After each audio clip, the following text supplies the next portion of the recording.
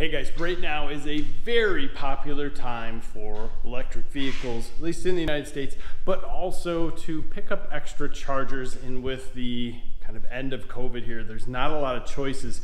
If you look behind me, you can see I have an Enel X juice box on the wall. Uh, that's a Wi-Fi charger not always perfect in all situations, especially if you have weaker Wi-Fi. So I picked up a Lectron and this Lectron EV charger here is something I'm gonna try. It is a 40 amp charger. I have a Tesla and we also have a Ford Mach-E. So I need to have two chargers out here in the garage.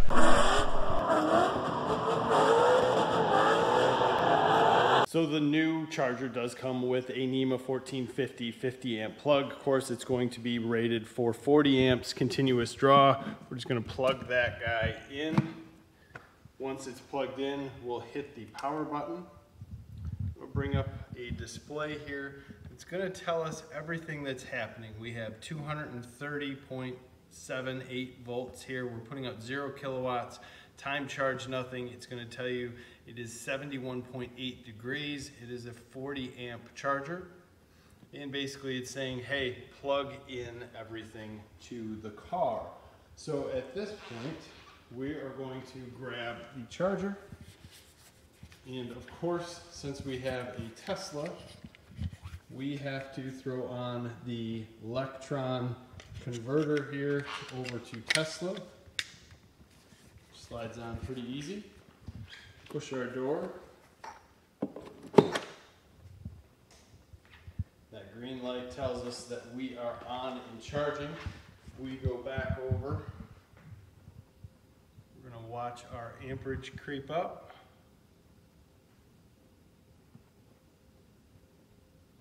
It's a little interesting is how it's going up and it's got the battery going.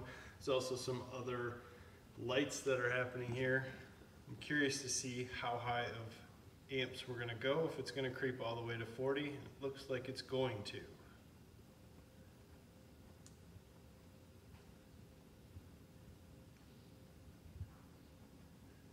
Kind of interesting how it slows down at 37.6. Now this is a Model S, so there is a possibility that that's my maximum charge on this car we'll just take a look on the inside and see what's happening as far as mileage.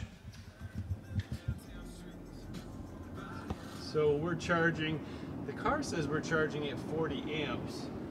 We just cruise over, saying 25 miles per hour, 40 amps, 229 volts, 22 miles per hour. So it's not too bad. I know in many cases that you can actually get upwards of 26. Now I have the door open, the air conditioning's on, so everything's going to drop down slightly as far as what's happening inside the car. But if we come back over here, we are still at 37.6 amps, although the car is reading it. That could be a difference between the charger and everything. This is gonna creep up in temperature. It's a lot warmer in the garage right now, trust me. Uh, this just came from inside. I like how everything kind of shows up here, lets me know what's happening. I can push this button to turn this on or off, so if I want to turn it off at this point, no issue. Also, I can mount this on the wall, I am not mounting it currently. You just take this back plate off. There's some rubber holes here and then you can mount this directly to the wall and then screw it back into the backing plate. I need to put in another plug so I can have both electric vehicles out here along with the juice box and this Lectron. This Lectron is significantly less money than you would find for uh, a Wi-Fi juice box. I mean, you can get it for $414 at this point, and then there's a first-time purchase of 5% off if you go to their website. I'll leave that in link in the description.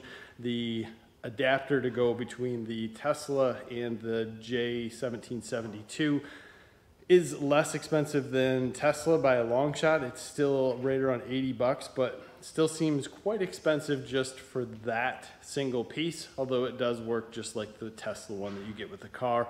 Highly recommend you taking multiples with you. And that's the reason why I still have all of these chargers sitting here in multiple different configurations. as we take the car and go, we always make sure we have an extra charger with us. And especially if we go camping, we can simply plug right in at that point to the same 1450 plug that's there, charge our car very quickly, and end up with just free charging. That's great. So if you're looking for a wall mounted charger that's not Wi-Fi, I would highly recommend taking a look at this charger. It seems like it's going to do a great job. And from the research that I've done on it, it looks like it's gonna be good and clean. So hope you appreciate this video by giving us a like, subscribing to the channel. Thank you for your time. Have a great day.